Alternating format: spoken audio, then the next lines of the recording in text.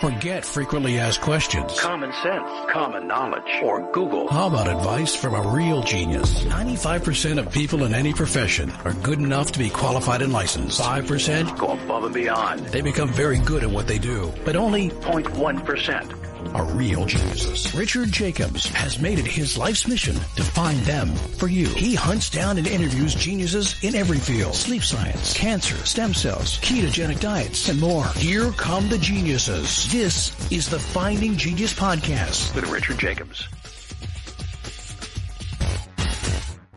Before we begin, a note from our sponsor. I'm Richard Jacobs, Executive Director of the nonprofit Finding Genius Foundation and host of the Finding Genius podcast.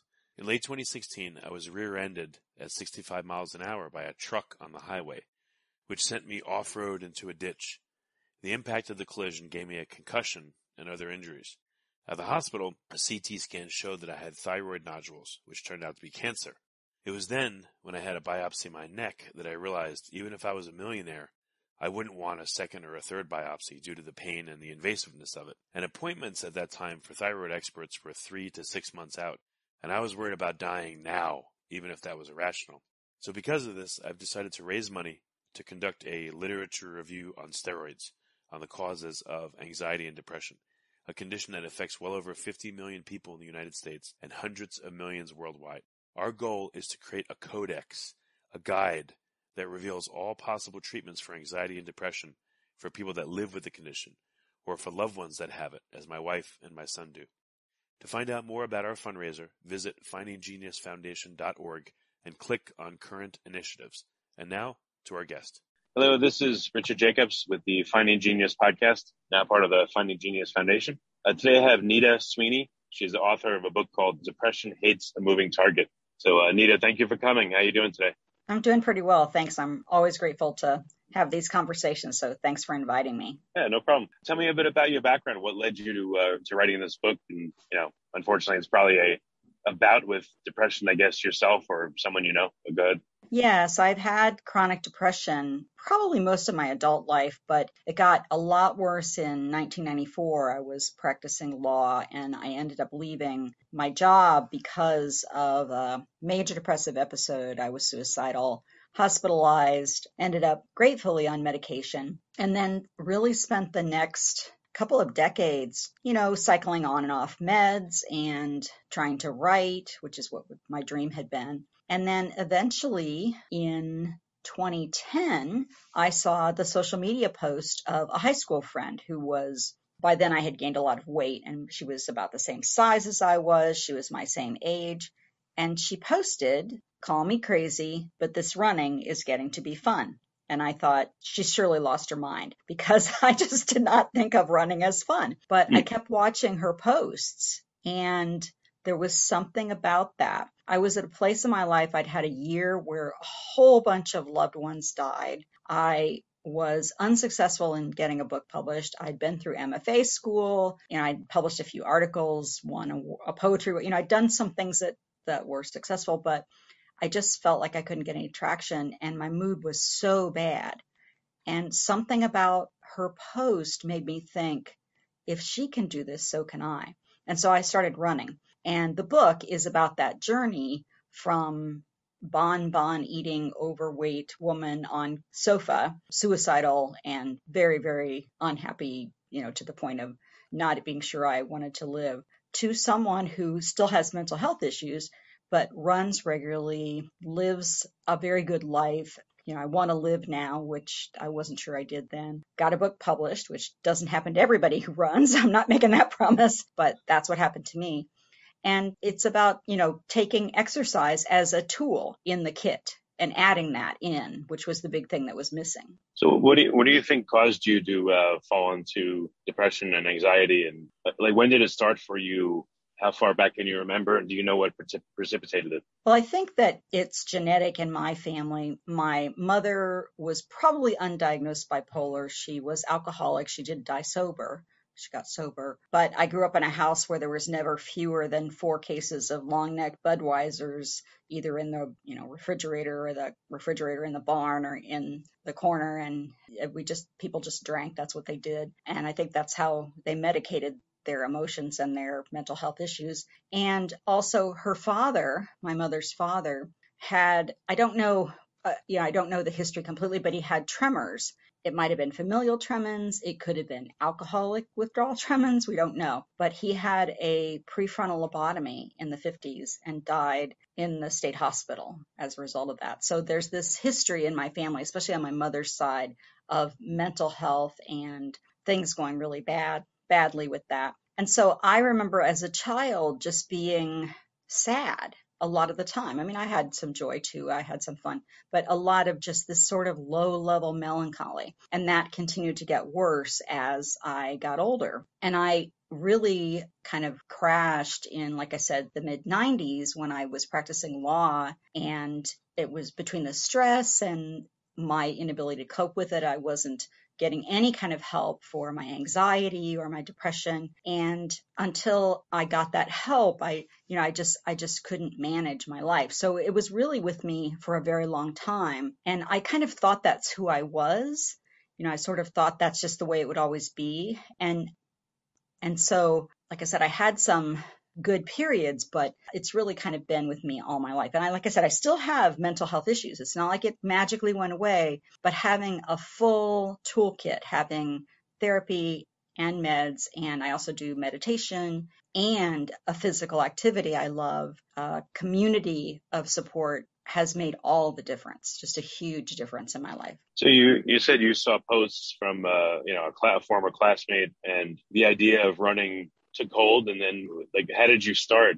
You know what what was it like when you first started the first day or two when you tried to run? It was ridiculous. I was scared that my neighbors who weren't even home because it was a weekday in our suburban neighborhood were going to laugh at me if they saw me running trying to run at my size. You know i had these probably giant pink sweatpants and a green top nothing matched nothing nothing matched my idea of what a runner should look like. I had big clunky shoes because I didn't really have exercise shoes. They were tennis shoes, but they were, you know, just these giant shoes.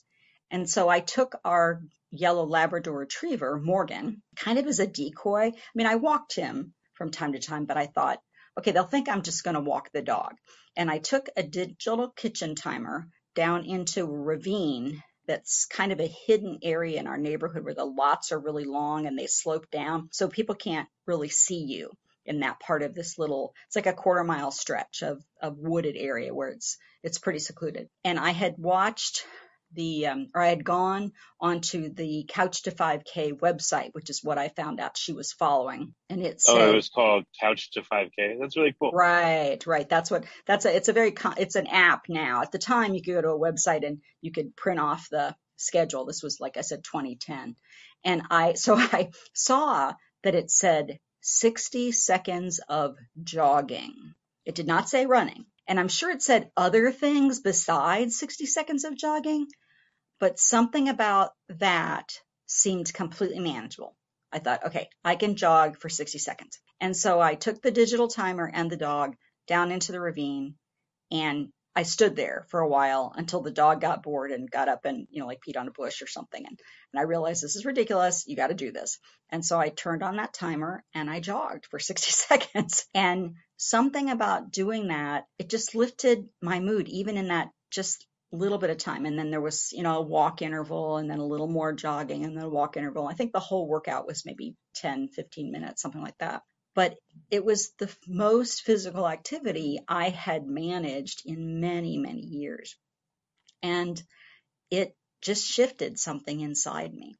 And it took me a while to tell anybody that I was doing it. So I, uh, the plan is that you run, well, you work out, you do a, like a run walk interval for three days a week and it's supposed to be a nine week plan, but it took me much longer. And so I didn't tell anybody, even my husband. I've been, we had been married at least 20 years by then. And I didn't even tell him because I had just tried so many different things over the years. You know, we had the, I don't know if we had a treadmill, but we had various pieces of equipment that became clothes racks in the basement and the mini trampoline and the, you know, gym memberships and the, all the things that I had tried at different points. And so I didn't tell him until it felt as if this was going to stick, as if I was actually going to continue with this. And then eventually oh, wow. I did tell him. Yeah. I did tell him. It was, like, How you know, it was how long were you? Oh, about a month, and then you finally told your husband. Yeah, maybe my mid six weeks. It was it was it took a while because I I just wasn't sure that I could stick with it. I was just so despondent a lot of the time. Before we continue, I've been personally funding the Finding Genius podcast for four and a half years now, which has led to 2,700 plus interviews of clinicians, researchers, scientists, CEOs, and other amazing people who are working to advance science and improve our lives and our world. Even though this podcast gets 100,000 plus downloads a month, we need your help to reach hundreds of thousands more worldwide.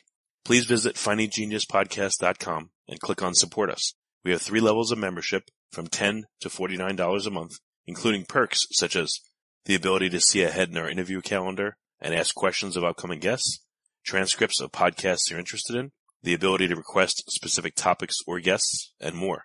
Visit findinggeniuspodcast.com and click support us today.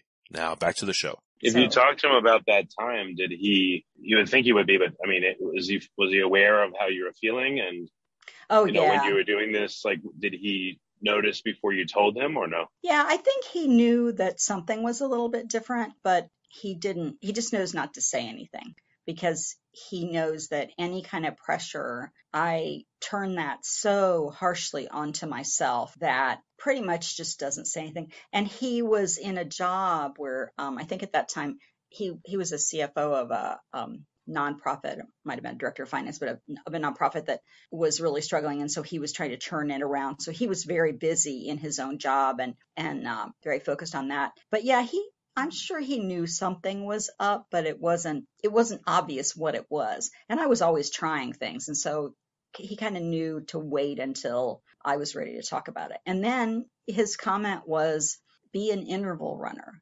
Know, don't. He was really afraid I would just go completely overboard because that's the other thing I do is go completely overboard, which I kind of did, but it kind of worked, which is kind of funny because, you know, sometimes it does work when you go completely overboard. But he was just hoping that I wouldn't burn myself out on it. And gratefully I didn't. I gradually progressed. And the book talks a lot about the I had physical issues and I had emotional issues and I had anxiety and all of that comes up. I mean, it's not like you can run away from that when you have that. So the book is about me facing all of those things as I continued to run and how that It, it, it, changed my perspective. yeah, maybe. I mean, you know, I'm not trying to make this into like a pun, but in a way, it, it may be appropriate. Were you literally running away from what was bothering you, or did you feel like you were running towards what was bothering you? Did that happen at all, or you were just running? It okay, it felt to me as if I was running toward health, especially mental health. I knew that I wanted to lose weight. I you know, was a much larger size than I'd ever been in my life. And I knew that running burned a ton of calories. So there was that. But emotionally, it felt as if I was running toward some kind of stability, some kind of a up mood lifting activity that could sustain me at least for a little while because it That's really excellent. really it really felt as if things were untenable. I mean if something didn't change, I'm not sure I'd be here. I mean I just was really ready to give up. Yeah, the reason I ask you is I, I don't know. I mean, I'm just supposing, but that probably made it more likely for you to continue because you were running towards something instead of running away from something. Yes, I agree. And it's, you know, that's such a common joke is, what are you running from? I mean, I, people say that all the time. And there's great memes about animals watching people run and saying, what are they running from? You know, and, um, and yes, I mean, you're sort of running from your troubles in a way, but I think if I had just been running solely to lose weight, because I had done that before when I was much, much younger and I don't call it running. I call what I was doing then sprinting and it didn't work at all and it didn't last. But you're right. There's something about going towards something and feeling as if I'm headed in a direction to something as opposed to thinking something's chasing me and I'll, you know, have to get away from it. But I, I don't know. I, at the time I wasn't that aware of it. It was much more of a feeling thing. I had started dreaming and I thought that I was dreaming that I was flying, but I realized after it was a recur- recurrent dream, I realized after a while that I was actually dreaming that I was running. And of course, I was dreaming that I was running much faster than I actually run. But there was this sensation of sort of floating through space. It was relatively effortless, and I and it dawned on me that I could run slowly, and it, I wouldn't I wouldn't feel like I was you know killing myself. I mean, yeah, you do get out of breath and you do exert yourself. It's not effortless, but there was something about that floating feeling that, I mean, maybe it's the runner's high. I'm not sure because I do get that from time to time. If you like this podcast, please click the link in the description to subscribe and review us on iTunes. But, uh, yeah, the, but, the so reason that I was, ask is, yeah. um, yeah, the reason I ask is, you know, I guess a lot of behaviors are characterized as avoidance behaviors, you know, like drinking alcohol or drugs or, you know, whatever other addictions. And it seems like universally they're always described as getting rid or getting away from or trying to cover over. But running, I mean, I guess literally because you're, you're running and you said you were running towards health, like it was different. It wasn't an avoidance behavior. It was literally, and you were running towards something positive. So for some reason, it just sticks out at me, the difference. Yes, I, I think you're right. I, I'm, I haven't thought of it quite that way before, but it definitely, I mean, there is an addictive quality to it. Definitely the way that I do it. I mean, I run an ultra marathon, which is 31, 31 miles. I've run three fulls, 20, 29 halves and 18 states. So there's definitely an obsessive quality to it that I enjoy it and want to continue it. And, you know, I do a lot of races and I do a lot of training, but I don't, I don't think that if I had just tried to not be depressed and not added something, that that works. I think you have to, you can't like take, it's sort of like with addiction. They talk about how you can't just stop drinking or stop using. You have to replace it with something that gives you the positive sensations that you got when drinking and, and you know, drugging used to work eventually it stops working, but eh, you know, when it used to work. And that's the way it was with me for depression. All the things that I had tried, including medication, I was still on many, many medications. In fact, running helped me get off some of them. I'm still on one, but you can't just say, okay, you have to stop being depressed and we're going to just have nothing. And so having the, for me, it was exercise as a replacement to I don't know what, but that somehow it made it a positive as opposed to thinking, okay, I have to, I have to get rid of this other thing. And I don't know, I'm not sure if I'm making sense there, but it definitely It's felt okay. like it It's was, okay. it was, it was more like a positive thing for me as opposed to, and, and, and part of it was because I was older. I already knew I was never going to win a 5K. I wasn't going to go, I wasn't qualifying for Boston. That wasn't going to happen for me because of some issues I talk about in the book, physical issues, but that it was going to be about my emotional state. That was going to be the main reason I did it. And, um, and so I think I didn't have quite the, maybe, and maybe it's my personality too. I didn't have quite the obsessive tendency that maybe other people have. I'm not sure because I've definitely people seen people go with running to very unhealthy extremes. What was your mindset? You know, when, I don't know if you can remember, but when you were about to run on a given day, were you in a bad way? Were you in a good way? Like, what was a cue that that got you to run each day? Did you just pick a specific time, or was it more like, I feel this way, I'm going to go run now? No, it was more, I feel this way and I'm going to go run now. And the feel this way was, I feel brave enough to go run now. And sometimes I didn't feel brave enough, but I knew if I get started, I'll feel brave. All the, the getting started. Cause I mean, I still have days where I, it, it's, the brain is just so tricky. And, um, I still have days. I mean, I've run thousands of miles and I have, I have days I'll get up in the morning and my brain will say to me, well, that running was fun, but you know, I think those days are over. I mean, just, I mean, totally out of the blue. And I mean, I'll go, I'll sit up in bed and laugh and think, what, where does that even come from?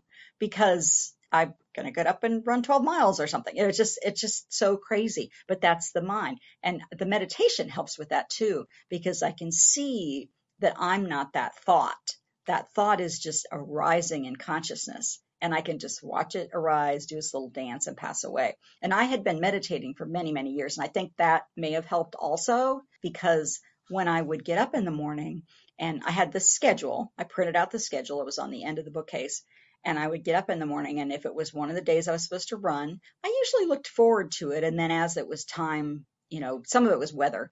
As it was time to get closer to run, I might start getting anxious and then have to talk myself into it. But I'd notice those thoughts. Oh, this is going to be too hard. You really shouldn't be doing this. The neighbors will be home today and they'll laugh. All of those thoughts. And I was kind of able to say, okay, those are just the thoughts and let them pass or even thank them because that part of the mind thinks it's trying to save me. I mean, it really does. It thinks that whatever I'm going to do is dangerous and scary and I really shouldn't be doing it. And so, you know, it's, it's a very reptilian or whatever part of the mind, I guess. And so I tried to just notice and let the thought pass and keep moving, you know, put on my shoes. And, and sometimes I say that, Nita, just put on your shoes or just go outside, just get dressed and go outside. And eventually, if you stand there long enough, you realize, well, maybe the neighbors are looking at you because you've been standing here for 10 minutes in your front lawn. Um, you know, and, and, it's like, okay, we'll just jog down the road and see how it goes. So I still, even mm. all these years later, I have to, I sometimes still have to talk myself into it. But in those early days, I quickly gained a momentum from having a schedule to follow, from continuing to watch my friend. She was, by then, she was months ahead of me because I didn't do it right away it took me a while to, you know, to, to pick up that plan and, and, um, and do it. And there was sort of the excitement of something new and the momentum from that pulled me in much more than it does now, all these years later, where it's the same training plan. I might be running in a different state or a different race or something like that, but it's not quite the same newness as it was at the beginning. So what, what, um, so you're describing what, what's going on in your head as you're getting ready to go out. And then when you were actually starting to run, uh, what was the first minute or two of the running like mentally? Like what are, I know oh, men- oh, mentally, yes, yeah. that very first couple of minutes, mentally, I realized that I really needed a better running bra. Literally, that was it. I realized, oh my gosh, you had, you're wearing a bra that's probably 10 years old you know, because it's an athletic bra and I didn't, I hadn't run in a while, especially at this larger weight. And so it was, it was almost comical because all the anxiety dropped away and suddenly I was completely in my body, which is a very meditative thing to do. And um, and I had to laugh, and I thought, yeah, you, your your next trip is to a running store because you need to take care of this. And but then then what happened is that ravine ends at the top of a hill. You turn a corner and there's the top of a hill, and then suddenly I was out in the neighborhood, and I had to choose. Okay, am I going to go out where they can see me or not. And I turned around and went back down in the ravine. And I did that. I don't know. I, I can't, you know, I don't have a, I have a journal of, of how far I went and what days. I mean, I can tell you it was like, it was March the 23rd, 2010 was the very first day. And, but I don't have the log of when I actually left the ravine because some, you know, some, at some point a day came where I got to the top of that hill at the end of the ravine and I thought, this is it. You're gonna are you gonna run in the ravine for the rest of your life? This quarter mile back and forth, back and forth. And uh, and so I stepped out into the neighborhood, and and it seems like such a little thing. You know, you're just in the ravine and then you're in a neighborhood. What we do, but for me, it was huge. It was huge because I had kind of a i don't know what the term is, but it's kind of an agoraphobic thing, but it's more of a maybe social anxiety, self consciousness um, about my weight, my. Were you ever worried that. you couldn't get back home, or you'd have oh. to walk home because you would lose all your, you know, your reserve and be like, oh, and then well, have to walk. I wasn't, yeah, but I was less than a quarter mile from my house, so it wasn't. that was not really, and I would, and and I was running in a circle, so I would be headed back toward my house pretty quickly. But um, I did think, yes, I did wonder if I would always, no matter how minimal the distance increase was, I always was convinced that I couldn't do it. Even if it was um, something like today I ran a quarter mile and tomorrow I'm going to run 0.35. I mean, it, that even that tiny distance, if it was anything more than what I'd ever done, it just played with my brain. So that was always, and there was always, yes, the the chance that I would have to walk home. But I think I think even because I was already in my neighborhood and I did sometimes already walk my dog, I wasn't as self-conscious about walking the dog home. I mean, I would know inside myself that I had felt like I failed, but nobody else would. Whereas them seeing me try to run or try to jog, that's the thing that I was so self-conscious about it. So again, tricky mind playing these games that when I step back, make no logical sense. But that's the thing about the mind is it's not playing logically. It's coming at us from either disordered place disordered places you know cognitive where you know that's just a it's just like a twisted way of thinking or it could be a part that is still about three years old that's kind of in charge all of a sudden. You know if you follow the family therapy family dynamics i forget what the name of that is but but you know all those all those kinds of things. So there's all these things that work in the mind. And so that's why the meditation really helps is because i can step back and just sort of let it like watch it do its play its little game and then realize what, what, it will so, pass. It will pass. So you were incorporating some meditative elements into the run itself as you ran? Yeah, not intentionally, but because I am a meditator and had been meditating already. See, by then I probably had been meditating for about 15 years. It's just natural to know that that's the way the mind works. I was able to step back and say, oh, that's what's going on with my mind. Now, sometimes in the moment, I couldn't do that. And in the moment, I would be paralyzed, especially when it came to bridges. I have, had a thing about bridges at the time. And, but when I would step back, especially after it was over, I would think, oh, that's what happened. And, but yes, I was always trying to, I was always incorporating meditation, but sometimes I didn't realize it. It's just sort of who I am because I've been practicing so long. So while you were running, did you literally start to feel better or lighter as you ran? Or when you stopped running and you were finished for that day, did you feel changed by it? Like what was, and did you revert after an hour or so? Like what was, what was the feeling part of it like before, well, the, during, and after? Yeah, I'm not, I'm not sure I was completely conscious of it. What, what I noticed that was the biggest change is I had always needed to take a nap in the afternoon, no matter what. And so the first day I did take a nap after I ran. And then the second day I think I did. But then the third day I got in bed to lie down and I couldn't sleep. I just, it was like, I, oh, I'm not really that tired. And so I got up and, you know, and there would be sometimes I would take a nap, but that level of just constantly needing to regroup all day long started to go away. And so I had more energy. And I did notice during the run, because I was doing intervals, especially there was this huge joy from finishing an interval, whether it was 60 seconds or then expands to 90 seconds and then it's like two minutes. And, you know, you'd finish this run, whatever the tiny interval, interval that it increased was just very incremental. And I'd feel this joy like, oh my God, I just did that. I just did that. And, um, you know, so yeah, that was always kind of happening during the run. And then afterwards, there was just this sense of accomplishment. Oh, yeah. So the other thing that I did was I had printed off the schedule, the training schedule, the Couch to 5K schedule. And I would come home and I'd be able to check off that little workout I had just done. And that's a dopamine hit. And so I'd have this positive sensations, these pleasant thoughts of, I just did that. I just did a thing and I accomplished it. And yeah, I think about it now and it it almost seems ridiculous, but I know that you have to keep it in perspective because I was so depressed that I didn't want to live. So being able to check something off a schedule like that was enough to keep me going for another day. And did you ever feel that the running contributed to your depression or anxiety or it only helped it?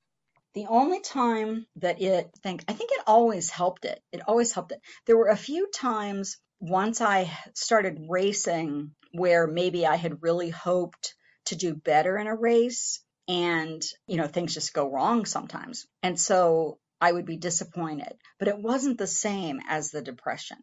There was not, it, it always was a mood lifter. I mean, it still is. It still is. If I want to feel better, just put on my shoes and go. It really will help. It maybe take a mile. You know, that first mile might be agony. They always say the first mile is a liar. And, but, uh, know, once I get out there, I'm usually always happy especially if I can go outside. What would you do when uh, the weather wasn't good or, you know, it was well, cold I, or hot or there's precipitation? What'd you do? Yeah, you run. So if when if it rains, you know, people they ask, well, what do runners do when it rains? It's like we get wet, and what do runners do when it's cold? Well, we get cold. You know, what do they do when it's hot? Well, we get hot. So yeah, I pretty much I've run in. I think the coldest I've run in is I think the the feels like was six below, so it's probably about three degrees. And the hottest I've run in is in the 90s. I don't think I've run over. I don't think I've run over 100. I'm in central Ohio. It gets very hot and humid. I think the feels like might have been over 100, but you have to be careful with uh, hydration, especially in the summer. You have to make sure you're getting enough electrolytes like salt and stuff with the water. And I've learned from having a running community how to do all of that, how to, you know, to do all the kind of things that support the running. But yeah, and Do then you, I, do you run I, a do you run alone or did you get a partner or a group at some uh, point? well, yeah, I I ran alone for a while and then I joined an online group where it was just a discussion, kind of like a, it was the same group that the Couch to 5K was in. It was like active.com or something like that. And so, um, so I did that sort of online. So I wasn't, I was still running alone, but I had people I was talking to about these things. You know, do you carry water? How do you do that? What do you, you know, how much, how long do you go before you drink water? All those kinds of questions. So I was getting all of that stuff answered. And then eventually I joined a group called Marathoner in Training here in Central Ohio that is sponsored by our local Fleet Feet store because I wanted to run longer distances. But I ran alone for probably about a year and a half. And I know tons of people that have run alone for years. That's just the way they prefer it. And what's interesting is I I I run in the group, but I'm not necessarily I don't like to be in the little pack. So I'll usually run behind them or in front of them. Just I'm sort of an off the scale introvert and so I get I do better when I'm not in the middle of the chatter, especially at you know 7 a.m. on a Saturday morning, which I call the middle of the night. And uh, so I'm with them. So we have water stops, and if anything happens, there's people there. If I do want to talk, there's people there. People ask questions. There's always a trainer, like a PT person, in case something happens and you need to talk to them about how to deal with an injury. So they have a whole lot of support that you get from this group. But a lot of the miles I run alone, just me and the dog. That's what we do. Yeah. That's, I mean, that's where the training really happens. It's just me and the dog on our. Well, as you've interacted with other people that have, you know, gone to exercise to help them with their, you know, their mental issues, is it usually running that people do? Is that the number one exercise, or are there other ones that, you know, for some reason you just don't do? You like running better, but they also work or seem to work for a lot of people. Oh, I think it's any movement form. I don't really know. I mean, it would be really interesting if there's been some, you know, some research on that. I'm not really sure. I tend to follow running research science. There's a number of kind of uh, exercise scientists that I follow, and most of them that I follow study running just because that's what I'm interested. But I really the the, the things that I have read is that it's about breaking a sweat. It doesn't have to be a, a huge sweat, but just raising your heart rate enough that you get out of just the the regular zone that you know you're just sitting in your chair kind of zone. So it could be walking, um, it could be dance, it could be lifting weights, it could be swimming. I mean, I I really believe that any movement, the, the most important thing to me is that you find something you enjoy so that you'll continue doing it. So it's not just, oh, I have to do this for my mental health or I have to do this for my physical health. I want to do this. I look forward to doing this. For some people, that's community. They need the social aspect. One of my neighbors here plays tennis and she loves being with her tennis people. And, you know, they talk tennis and they play together and then they do things together. And for me, it's the running group. We talk running, but I'm not sure that it's just running. I mean, they, they joke that running is such a simple sport, which technically you just need a decent pair of shoes. And if you're a woman, you probably need a running bra, but, uh, you know, you can kind of do it in t-shirts and shorts and it's not a big deal.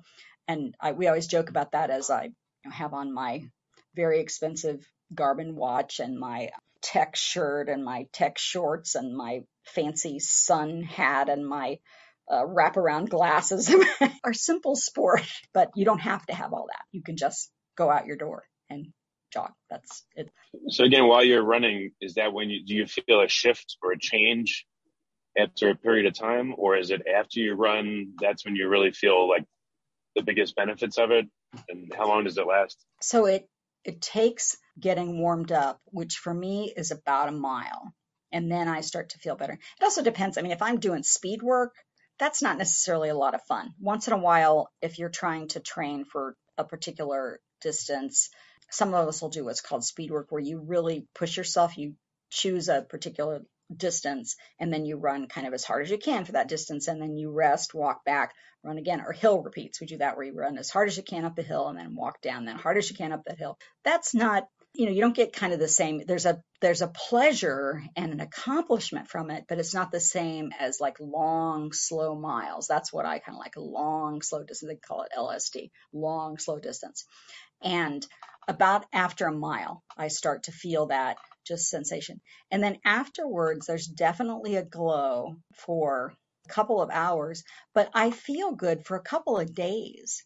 I'll just feel better. Cause like during a week, if I have maybe a cold or if I've tweaked a muscle and so I really shouldn't run for a little while, I mean, I notice it uh, after a few days and when I haven't run. I definitely notice that my mood's slipping a little bit. It's not ever been anywhere near what it was running, but you know, but it's it's definitely does drop a little bit. And there's this whole panic thing which we have to talk ourselves down from because again, the tricky mind will say, "Oh dear, your running days are over," or you know, you're going to weigh 400 pounds in a week because you can't run for a week. I mean, the mind really does play these crazy games that are ridiculous.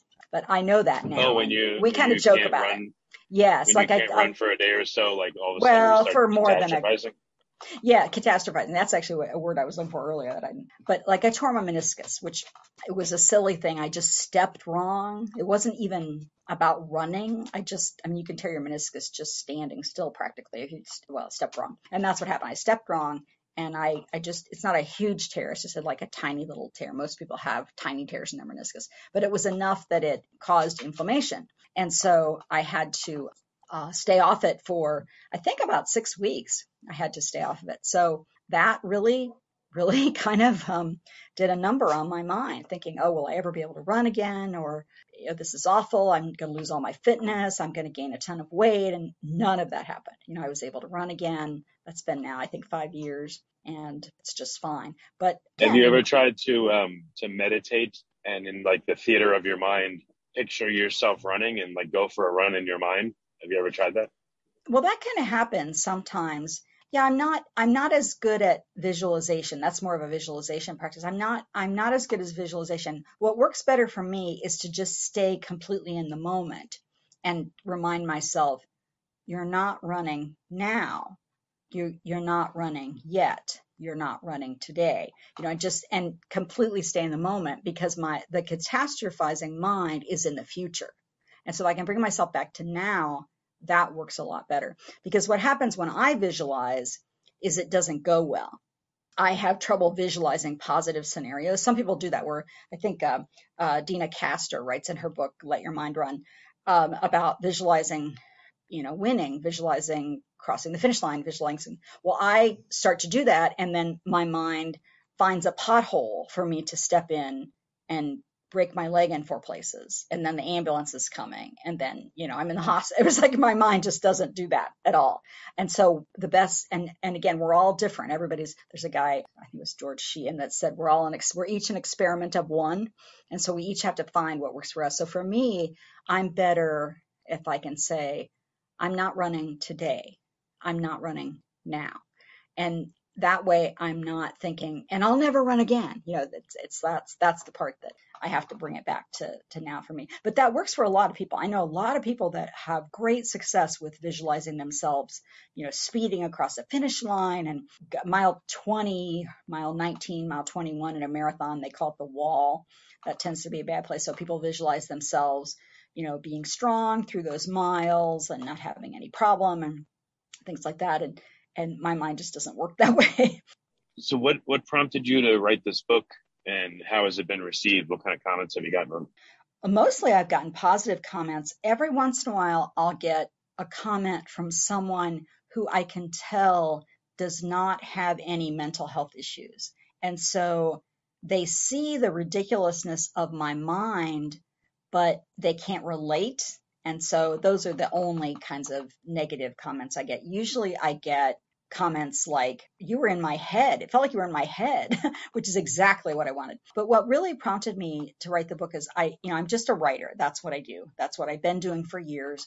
And I have sort of been trying to get various books published over the years. One memoir about the last couple years, the last months my father was alive, I tried to publish and wasn't successful. And that was actually what was happening before I started running, before I discovered that this was helpful to me. And so I was always writing. I was always writing something and I always kept, and I still do, keep a log, which is almost like a journal. After every run, I record what dogs I saw, you know, how it felt, uh, what shoes I wore, how far we went, how fast we went or how slow, Were there leaves on the ground? Did I see any deer? You know, all those kinds of things. Very sensory detail things, especially. I wrote those down because you tend to not be able to remember those later. And oh, what, what does do. that do for you to write that down?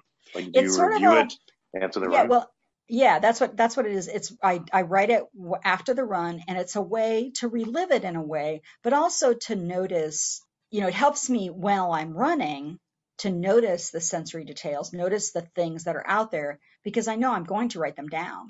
And I just am a journaler. I just, uh, I'm a compiler. That's what I do. And so I wrote all that. So I had all that going.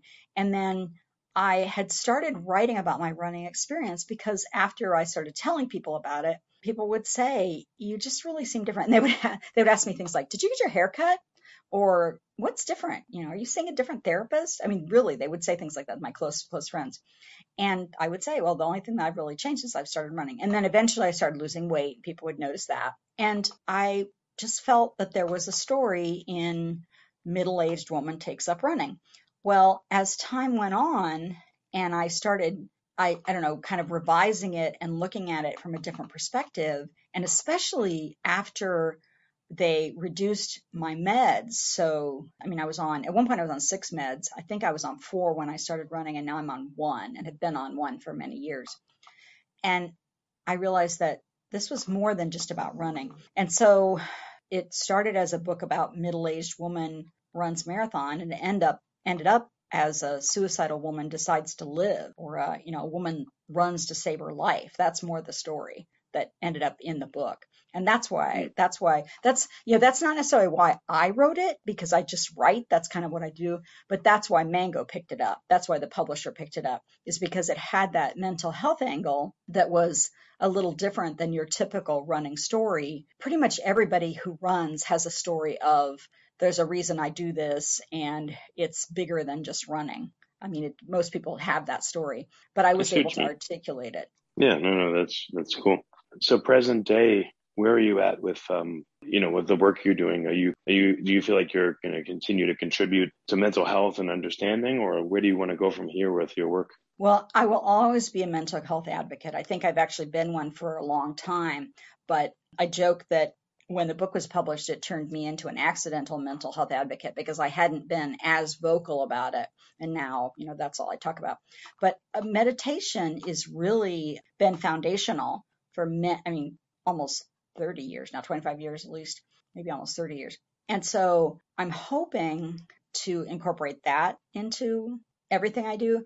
And I'm in contract right now for a new book about making movement of any kind into a meditative practice using mindfulness techniques when you are running, when you're dancing, when you're lifting weights, when you're swimming, when you're, you know, doing Zumba, whatever, uh, playing tennis. Because the thing that happens with most people when they're exercising is they are already having the level of focus and we call it equanimity, but it's a sort of a mind state, a calm mind state that happens naturally, especially in intense exercise, but can happen in it can happen in more gentle exercise too, if you're intentional about it. And so I want to train people how to do that. And so I have a I have a contract right now to write a book that's supposed to come out in the fall. The, the working title is Make Every Move a Meditation Mindful Movement for Mental Health and Well-Being. And there's a real strong connection between movement and mental health and meditation and mental health. And so I'm combining those two. This is nothing new. These are ancient practices that have been done for thousands of years, but I'm bringing them into the mainstream and, you know, taking a lot of the kind of lingo away and making about walking your dog and you know going to the park and playing with your children and things like that. Okay. Well, excellent. Well, Nita, when um, so for your existing book, Depression Hates a Moving Target, where can people get it? And then what are what's another resource or two for them in closing? So the book is available wherever fine books are sold. I love to say that. That's what my editor told me to say. But seriously, you can get it on Amazon, Barnes and Noble, Indie Books, um, any place that you like to buy books, you can find it. It's probably available at your library. It's just Depression Hates a Moving Target. You can go to my website, nitasweeney.com. It's N-I-T-A-S-W-E-E-N-E-Y.com. I don't know if there'll be probably show notes with that. And if you go to my website, there's also another resource called Three Ways to Heal Your Mind, which is a downloadable ebook that has that talks about some of the tools that I use to help me stay sane and mentally well. And um, I have an email list that uh, I about twice a month I send out an email that's just sort of my musings on what's going on in my life and you know how that relates to my mental health and hopefully a tip about how it might help other people. And it always has you know something about running and something about meditation and then something about some of the classes i teach things like that. But yeah so the main source is uh, nitasweeney.com and then i'm on all the social media channels. I have a couple of facebook groups. If you go to uh, uh, nitasweeney.com you can find pretty much all that and i'm on like i said uh, the social media channels oh and i'm doing instagram videos now the Instagram TV because they're about two minutes long, where I take the, the dog down into the ravine, that very ravine where I started running, and we talk about meditation and meditation practice and how I incorporate that into my running and walking. Excellent. Well, Nita, it's been good to talk to you. And it's really amazing that you've been able to help yourself like this and you're helping others. And, and thank you for coming on. I appreciate it. Well, thank you so much for the work you're doing too. I, I appreciate the opportunity to talk about mental health and thank you for the opportunity. If you like this podcast, please click the link in the description to subscribe and review us on iTunes. You've been listening to the Finding Genius podcast with Richard Jacobs. If you like what you hear, be sure to review and subscribe to the Finding Genius podcast on iTunes or wherever you listen to podcasts. And want to be smarter than everybody else? Become a premium member at findinggeniuspodcast.com. This podcast is for information only. No advice of any kind is being given. Any action you take or don't take as a result of listening is your sole responsibility. Consult professionals when advice is needed.